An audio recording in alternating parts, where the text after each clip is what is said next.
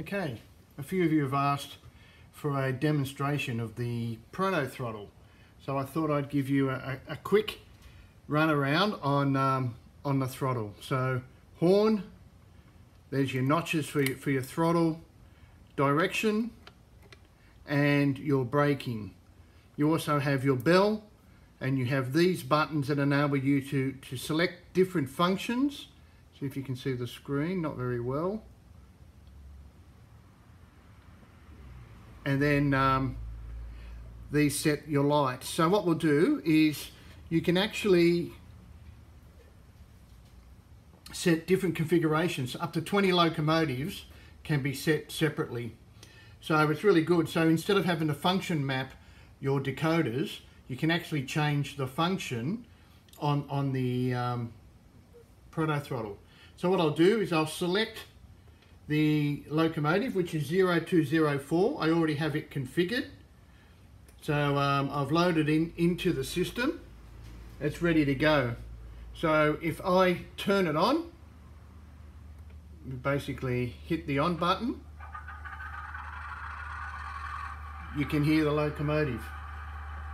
So if I if I um, accelerate up throttles, I'm not going to get any movement because the direction is center.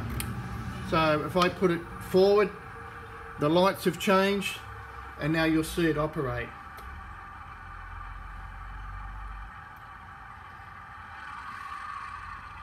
So all I'm doing is increasing the function.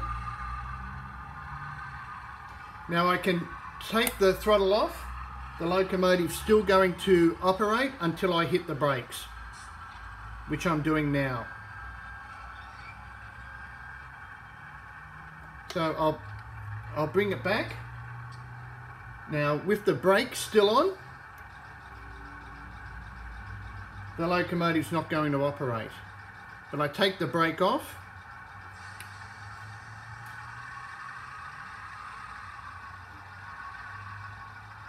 The locomotive, as you can see, is now operating. Take the throttle off, apply the brakes,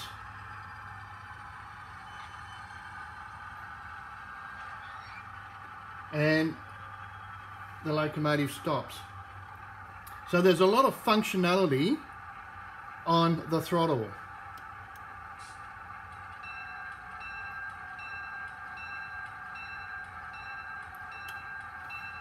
And that's my little intro.